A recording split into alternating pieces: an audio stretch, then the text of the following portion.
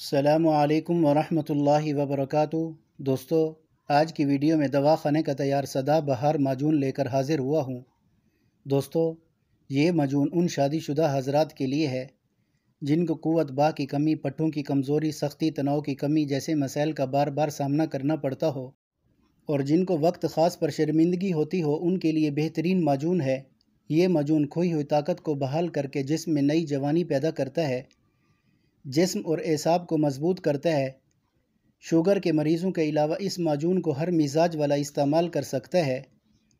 और जो दोस्त कहते हैं इंतशार में अब वो बात नहीं रही।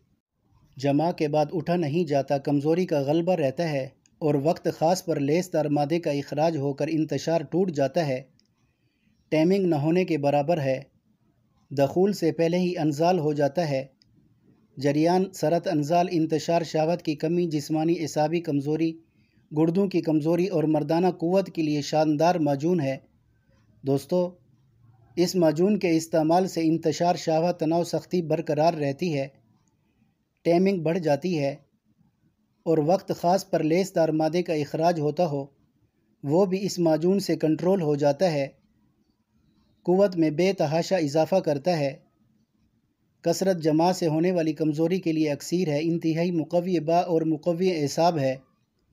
दोस्तों, अगर बार बार अद्वियात इस्तेमाल करके थक चुके हैं तो एक बार हमारा ये सदा बहार मजून इस्तेमाल करके देखें।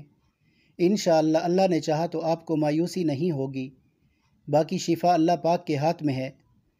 तबीब सिर्फ़ वसीला बन सकते हैं, दवाई अच्छी और खालिश तैयार करके देना हमारा फ़र्ज़ है।